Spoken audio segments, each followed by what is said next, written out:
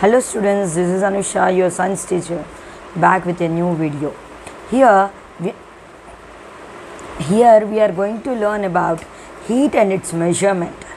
So when you measure heat, see we, we feel different types of weathers in our daily life, isn't it? Uh, some some seasons, some three months will be summer, and other months will be your winter seasons. So the summer season, you feel to wear cotton, light and light weighted clothes. Winter, you feel to wear woolen and dark color clothes. So you might have wondered why only particular cloth is needed in particular season. What makes it so? Why? Because winter will be cool and summer will be hot. So how can you decide something is hot and something is cool? By touching, by feeling, isn't it not more than that? If you in, in winter season also sometimes we feel very hot when temperature is high on that day. So by feeling we can know. Till now we know about that only that we can feel the hot or cold. Okay? So let us do one experiment here. Take three take three objects which are first do this object cold and hot. Which is hot which is cold? How can you decide? Ice cream? You know it is cold. Fruit it is fruit juice it is cold. Metal chair it is hot. And spoon of hot tea it is hot. These two are hots and these two are colds here. These two are hots isn't it? So how can you decide?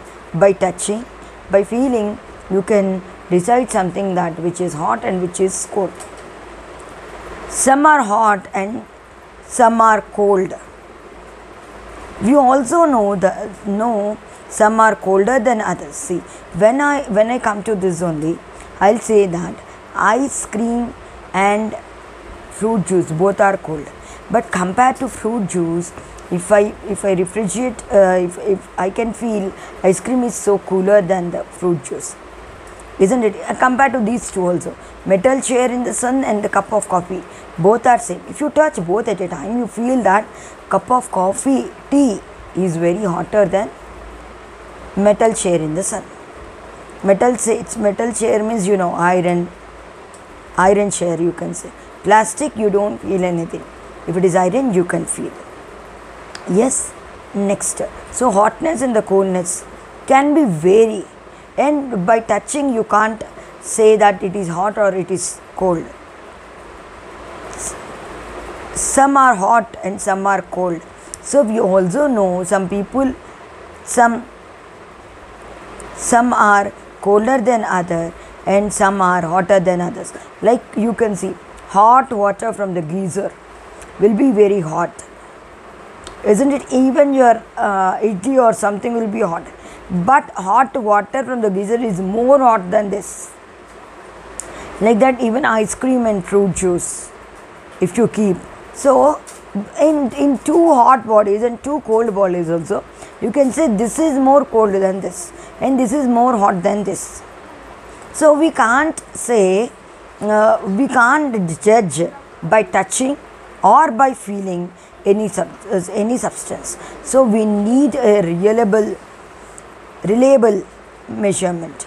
So we need a correct measurement to measure hotness and coldness. So next. So to measure we need some reliable measurement. That is temperature. What is this temperature?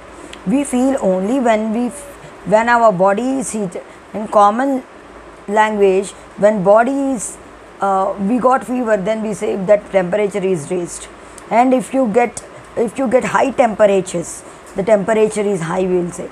Always we will say that only the temperature means we feel only hotness of a body. Means when you touch it it will be hot or cold. But temperature is the definition is something different in our science. Temperature is a measure of a degree of hotness or coldness of an object means it will measure. The temperature is not only temperature is is a measure of hotness or coldness both. It will measure hotness. We feel only the hotness it is going to measure. Today temperature is more we will say. Isn't it? It is something something wrong. It measures temperature is degree of measurement. How much hot or how much cold an object is. If you keep in a uh, in an ice cream that the what is the degrees given there it is called temperature. When you keep on hot water then that is also a temperature. It is a degree of hotness or coldness of an object. By just physically or by touching hand we can't decide which is hot and which is cold. Okay? Measuring temperature with our hands may mislead us. Like how uh, in our uh, lesson we when we measure something length or something with our hand it will mislead us. Because one one hand will have one one measurement. Like that when you touch some may some may uh, can bear that hotness and some cannot. It all depends upon the measuring temperature with our hands may mislead us. Means we can't correctly judge one thing by touching with our hands sometimes we feel when the outer temperature is hot we feel even a smaller cool thing as very cool. When the outer temperature is cool we may not feel any cool like uh, let us say some fruits are taken out from the fridge in the winter. Already in the room temperature it is very cool. When you take out from the fridge you don't feel that coolness. But in summer if you take something from deep fridge or anything you immediately feel because outer temperature is very hot then immediately you can feel. So here is one experiment to show that. See three vessels i have taken with hot water lukewarm water. Lukewarm water is not so cool not so uh, not so cool and not so hot and cold water and cold water. Next is cold water. So what if i if i put if i put three fingers if i put three fingers two fingers from one right hand and one left hand you finger you dip in hot water and cold water simultaneously at a time. You can feel it it is hot it is cold. But if you keep in lukewarm water both the fingers you can't judge uh, at, at this stage you can't judge which finger is hot and which finger is cool isn't it so? You can't by seeing or by touching you can't judge something. We need some correct measurement for this temperature. So here we get confusion that the finger is hot or cold. So coldness or hotness, cannot be decided by touching. The what? Before going for different devices uh, which are me- used for measuring temperature i want to tell you first what heat is i want to discuss you with what heat is. So let us know about heat. We feel hot when we sit near the fire in sunlight. Isn't it? We feel hot. When we touch something cold we will feel that hot coolness. So what is this heat means? What is this heat means? Did you observe any time? Did you observe this any time? What does this hot and why we will discuss and you will know you will find answers for this. Okay listen to this. With a small example i want to convey what is this uh, heat means. So a boiled water take a boiled water take water and put on stove. So what happens? The boiled water is converted into vapor. So volume of the water vapor increases. The increasing volume turns tries to go out. The increasing water vapor the volume increased. When you know when it is you can see when your mother is cooking food when she keeps something uh, uh, this plate up or some curry or something when heat is supplied the the inside what it is there not only water anything it will which will boil and uh, form like a vapor and come out so what this vapor when it comes out it wants to comes out right? Then it will lift the lid up. This lid is you know it will lift it up. And the lid will fall down. Sometimes the lid may fall down. If you if the water pressures more if the water vapor increases its volumes more and more so what happens? It will fall down. So what if you keep uh, water on that lid when outside it you don't feel you don't the lid the lid is not going to come out.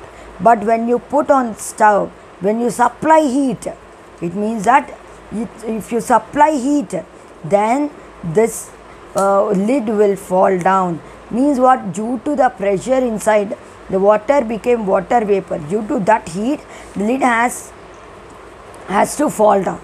So what is this? So the ener- where does this water get energy from? Where? This this water get energy.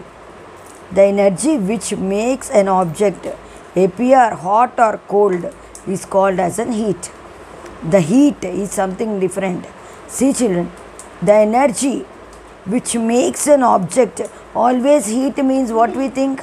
Only when you burn something or when you touch when you feel very warm then you feel it is hot. No heat is something. The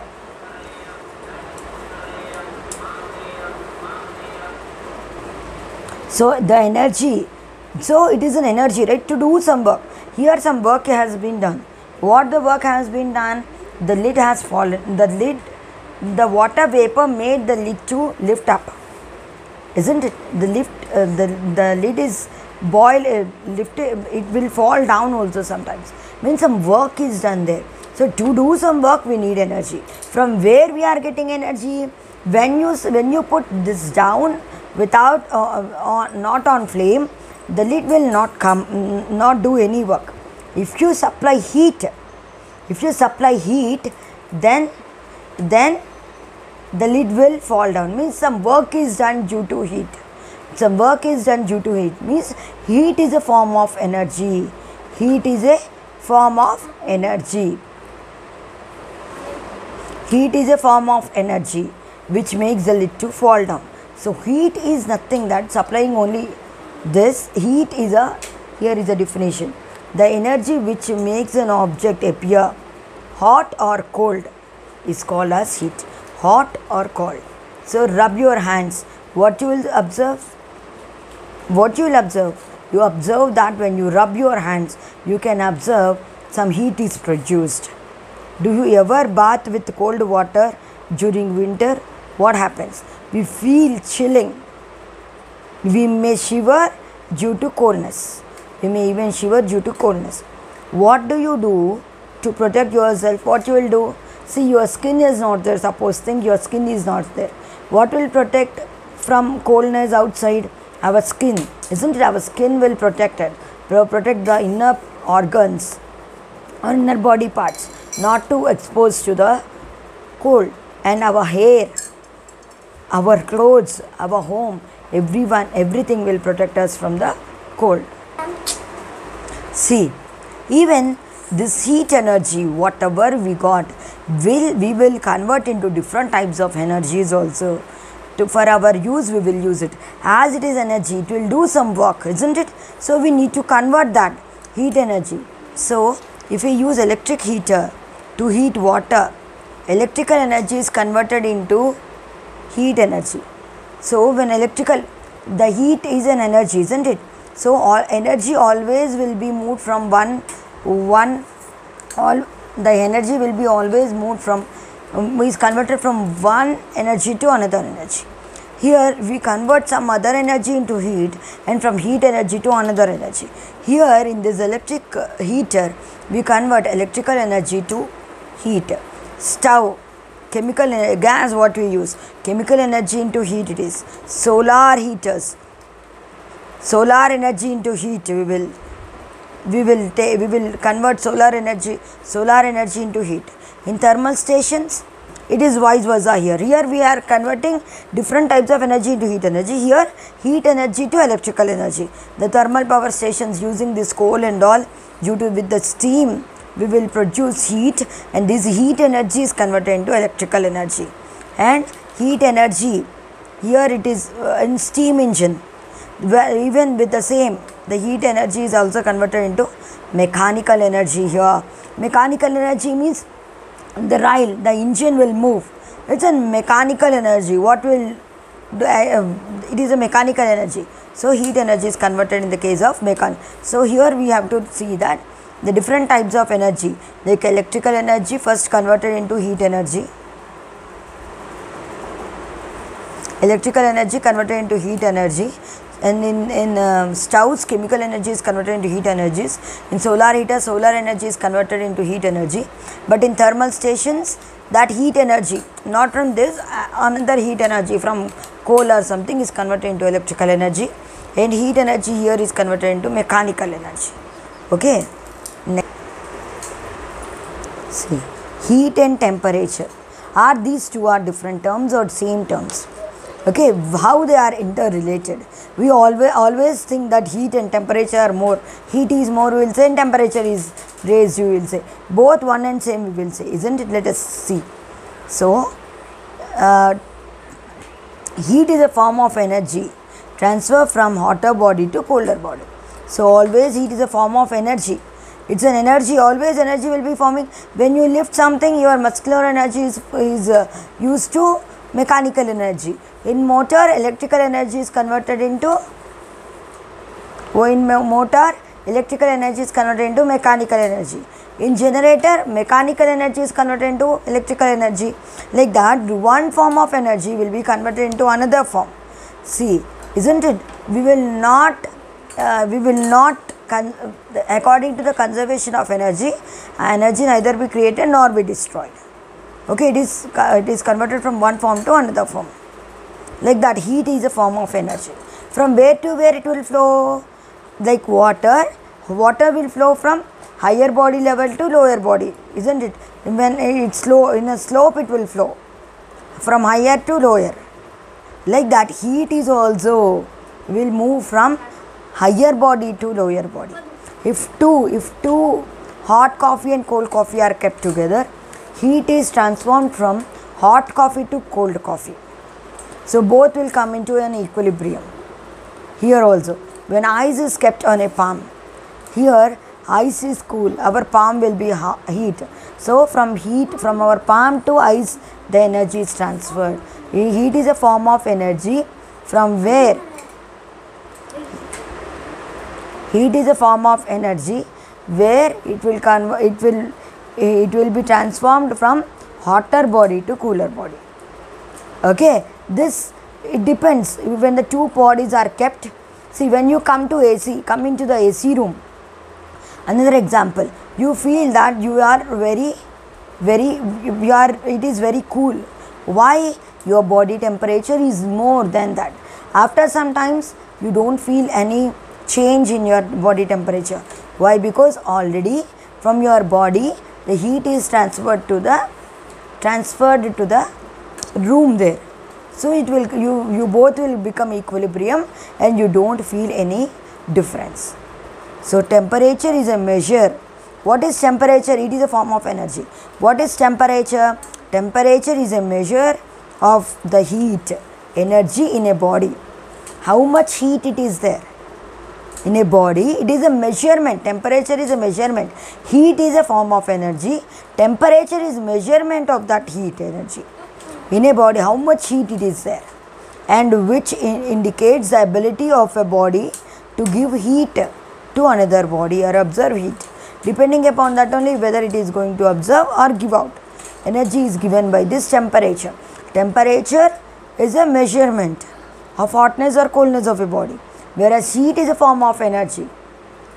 And when we come to temperature now let's go for this thermometer. Immediately we will uh, see this thermometer. What is this thermometer children? You all know this thermometer very well. In your every house these days you will find these thermometers. With doctors you will used to find you will you will find this. What is this? Inside this a shiny liquid will be present. What is this shiny liquid is called mercury. It is called what? Mercury. See mercury. So let us see the parts of the thermometer. Mercury glass slab stem capillary tube. This is a hook. The temperature normally may expands how the temperature will work this mercury what is there inside it if you hold it on your in your palm if suppose this is a this is a thermometer if you hold this with your palm then your body temperature as i said heat is a form of energy which will which will transfer from higher body to cooler body. So what happens? Your body temperature will transform to this uh, will, will be transformed through this mercury. So mercury will show will end will will go and end at a point when your body temperature is same as your mercury this temperature till then it expands. When your body temperature and when your body temperature is same as this then it stops expanding. It stops expanding and shows you the reading are you getting my point? When your body is there ma, you will hold this. So what happens with your body temperature? It will expand. The matter will expand. All the thermometers will work on the principle matter expands. What do you mean by matter? Matter is solid liquid and gases okay? So this one will expand. How it will expand? Your body heat will be there. It will be transferred to this and this this uh, by the transforming of this when your body temperature and uh, this uh, temperature are same then it will expand expand expand till your body temperature is equal to this uh, this temperature. Then it will stop. And there it uh, that reading whatever you take is your body reading. Already we know that matter expands on heat so to, to explain this one let us do one experiment. Take a metal trough and take a flat bottomed flask capillary tube. How the capillary tube will stand here? If you put here it will slant on this. In, instead you should use one one hole rubber cock. So you need to insert it. A scale will be there to show how much expansion is there so this is an apparatus. These all are the apparatus. So in a in a flat bottom flask you need to take color water. That whole this apparatus you should keep in a trough which has boiled water in it. So due to this temperature temperature this color water will raise in the capillary tube. So by this we can prove that yes matter that is liquid will expand on heating. Like that even the mercury also when we put in our mouth the mercury will expand to the to the uh, temperature in the, to the some readings in the thermometer and show our body temperature. Next while using in a lab in an thermometers we use mercury and alcohol mostly as a liquids. Why only these two? Why we can't use our normal water? Or so many are there right? Uh, why why we only use mercury and uh, alcohol in the thermometers? Mercury expansion is uniform. It expands uniformly. What does it mean? If some of the if some of the mercury is left down and some only went up. If it does not expand uniformly correctly according to our body temperature we can't we can't judge isn't it? How what is the temperature of our body? Opaque and shining. It should be opaque and shining. Means it should be it, that light should not pass through it opaque and shining. It, it should have shining so that you can see it clearly. If it is dull you can't see it.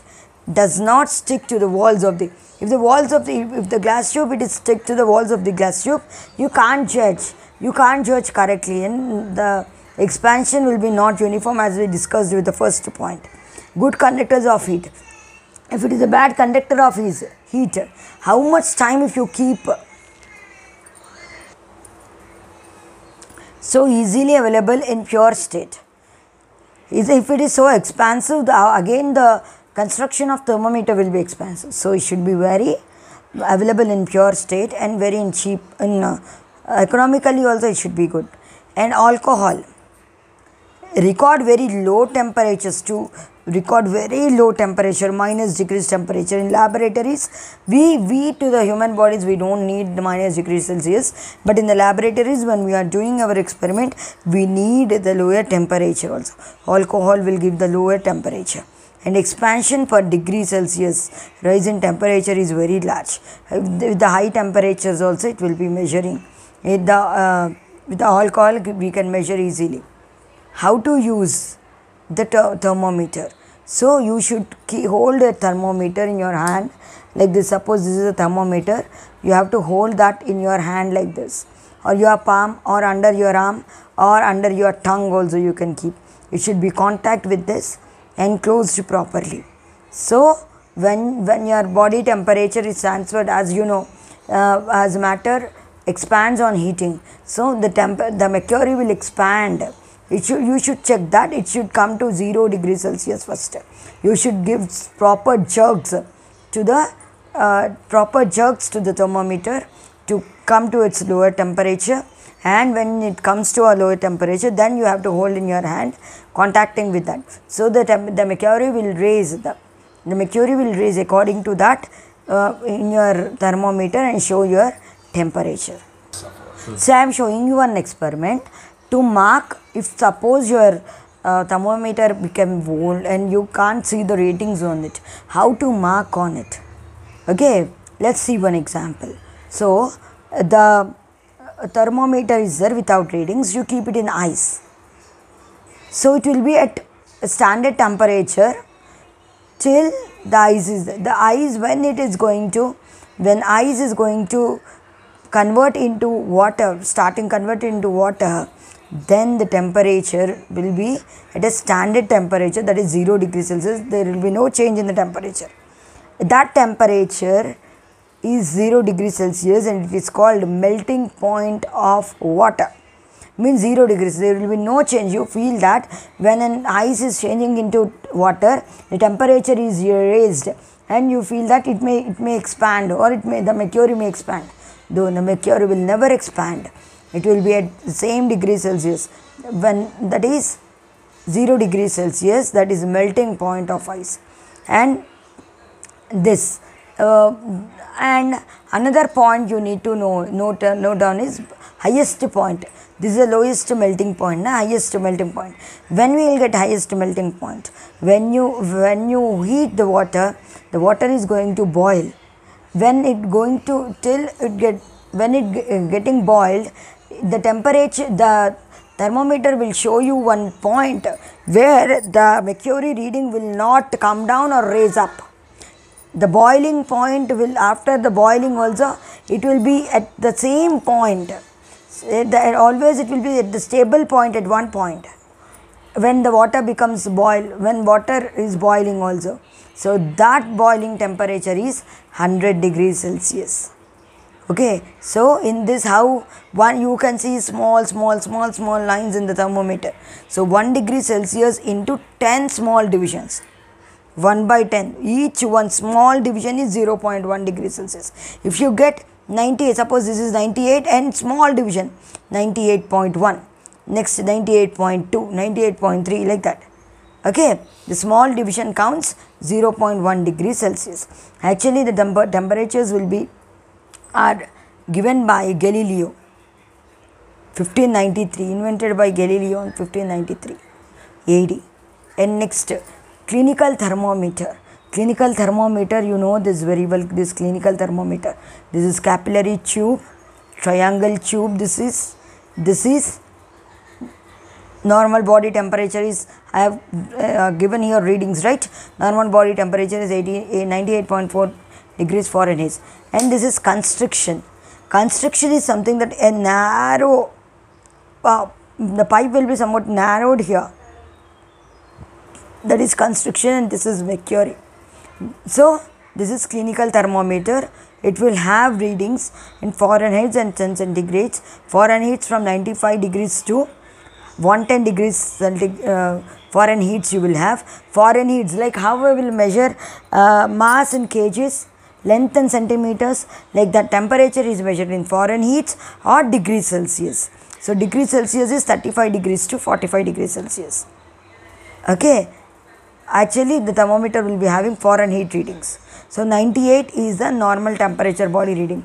If you keep your uh, thermometer in your mouth and it will measure 98.4 degrees celsius. It means that you are in normal temperature. Normal your body is in normal temperature. Therm- we have another thermo temperature thermometer also. Thermometer also that is thermistor thermometer. In thermistor thermometer is used for infants. You can see with your uh, pediatricians who the infants can't hold this thermometers with their hand or under the palm so this thermistor thermometer is used to measure the temperature in infants. And this digital thermometer is nowadays we are not using this mercury thermometers. Instead we are giving we are using this uh, digital thermometer which will give the accurate measurement of our body temperature and another one is laboratory thermometer.